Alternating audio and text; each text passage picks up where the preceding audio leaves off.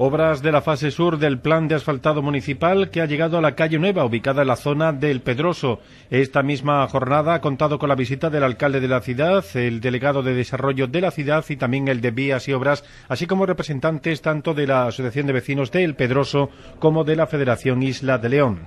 Porque esto es una de las actuaciones que va en el plan de asfaltado. En diferencia además que esta calle nueva lo que se hace además es reordenar la calle y se le han metido un acerado nuevo, se están cambiando las luminarias y en ese sentido lo que hacemos es seguir el mantenimiento de la ciudad. Esto también es una reivindicación permanente que tenía la asociación al arreglar esta calle y lo que hemos hecho dentro del plan de asfaltado también reurbanizamos la calle. Esto significa una inversión que supera los 500.000 euros, cercano a los 600.000 euros en cuatro fases de asfaltado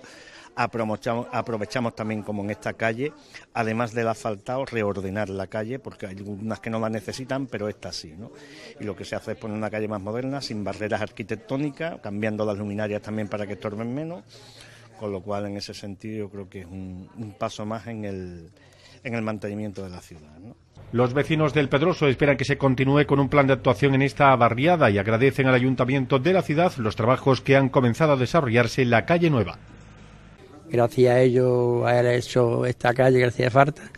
Lo que es el cercado estaba bien poquito, pero la acera es un problema que tenemos aquí desde hace muchos años. Todo el mundo sabemos la isla y la barriada que, la,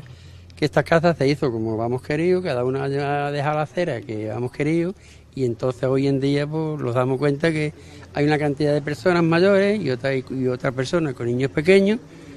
y que no tiene sitio por donde pasar. Entonces las aguas, el colegio que llega el Campo Soto, que es una mejora que vamos a por la, por la barriada, nos ha ayudado un montón el alcalde y, su, gobierno y la asociación de vecinos que también ha puesto su granito, porque vamos a estar insistiendo mucho y nosotros estamos muy agradecidos de eso. Y queremos mm, la barriada de Pedroso es muy grande. Habrá vecinos que lo mejor están quejosos porque ha sido esta la primera. Es que es la que más circulación tiene, porque eh, sale la gente de Mercadona y termina la calle de Compañía de María y la que más circulación tiene es esta y la que más gente pasa por aquí es esta, entonces las otras sí es necesario, pero obviamos que esta por la acera era un poquito más necesario que las demás.